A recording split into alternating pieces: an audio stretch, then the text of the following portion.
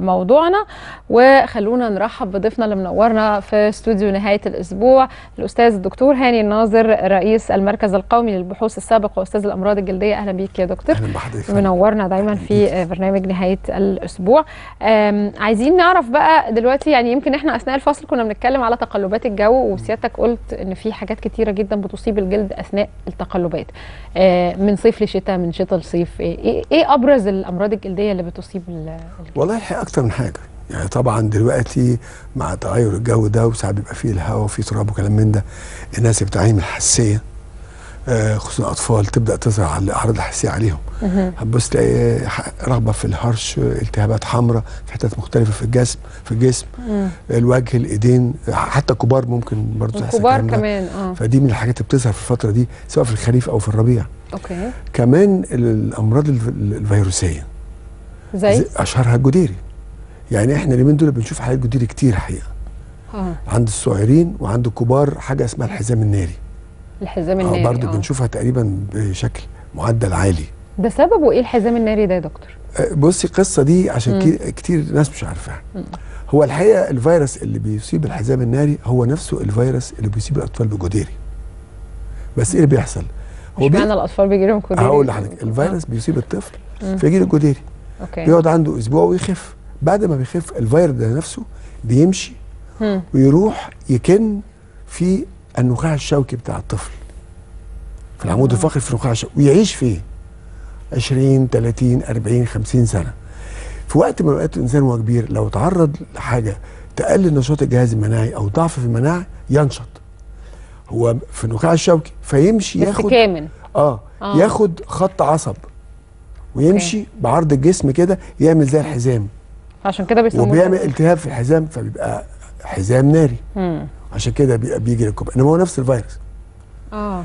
عشان كده اللي بيجي له حزام ناري بنقول له خلي بالك ما تقعدش قدام أطف... مع أطفال ما جالهمش جديري لأن ممكن يجي لهم بقى. هيجي لهم جديري هو جديري ده مش له تطعيم ولا أنا يعني ليه تطعيم؟ بس الحقيقة في ناس كتير ما بتاخدوش. يعني في ناس بتنسى. باعتبار إنه مرض مش خطير. على فكرة مرض الجديري مرض مش خطير. يعني مش مرض آه، يسبب قلق ويعمل. ما مرض بسيط بيقعد أسبوع. هو بيبقى عبارة عن إيه؟ تبص تلاقي الطفل يسخن مم. يجي له رشح جسمه يبقى مكسر صداع 48 ساعة.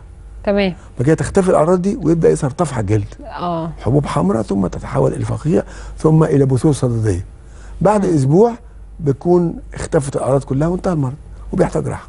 أيوه أنا هقول لحضرتك الأهالي بتتخض جدا من الحكاية دي وفي نفس الوقت ما بيهتموش قوي بالتطعيم. آه، فننصح بقى بالتطعيم ضد الجديري يعني احمي نفسك أحسن. ولما يبقى بقى حزام ناري يعني لما يحصل بقى حزام مشكلة الحزام الناري مشكلة. آه خطورته في إيه بقى؟ اولا طبعا هو يعني مشكلته في الألم. ليه؟ مؤلم جدا. لأنه التهاب في الأعصاب. فتخيل عصب ملتهب. ده الواحد لو اتخبط على العصب بيبقى متألم جدا. مم. أو لو ضرس مثلا عصب عريان بيبقى الواحد مش مستحمل. مم. فما بالك بقى العصب كله ملتهب. أوكي. ويقعد وما كانش الإنسان ياخد الدواء المضاد للفيروس في أول 3 4 أيام ممكن الألم ده يقعد مع الإنسان شهور. آه يعني يفضل طول الوقت. آه طبعا. بس ما بيبقاش مزمن يعني ملوش؟ لا لا هو كمان لما الواحد بيصاب بيه ما. بيرجعش تاني خلاص. هي مرة واحدة بس. بيجي له مرة واحدة مرة بس. واحدة. تمام. طيب وده بيبقى فيه آه، مشكلة مناعية أو حاجة ولا هو بس لا فيروس إصابة فيروس؟ إنما لو المناعة قلت بينشط. بينشط أكتر. بينشط على طول. وده من الحاجات الحقيقة المنتشرة. يعني دول مرضين منتشرين اليومين دول كتير. طبعا مم. الفيروسات بصفة عامة المختلفه كلها بتنشط هذه الأيام. الناس. بتسأل ليه؟ ليه؟ يعني طبعا دلوقتي الجو ابتدت درجة الحرارة تعتدل. آه. ما بقاش آه، يعني زي آه، يوليو أغسطس. وفي نفس الوقت مش برد قوي. زي درجه الحرارة دي مناسبة لنمو الميكروبات بصفة عامة. يعني إحنا لما بنيجي ناخد البيك- الميكروبات المعتدلة ونحضرها في المعمل بنحطها في درجة حرارة زي كده آه فدي. درجة حرارة مناسبة لنشاط الميكروبات بصفة عامة سواء كانت فطريات أو فيروسات أو بكتيريا مم. فعشان كده في هذا الجو الجميل تبدا أيضا تنشط مع الميكروبات تمام. عشان كده بت- بت- بتظهر آه. يعني طب إحنا ما صدقنا فرحنا بالجو آه، ما الحلو هو يعني بص كل حاجة ليها مميزاتها آه. وليها عيوبها تمام يعني الجو المعتدل ده آه جميل بس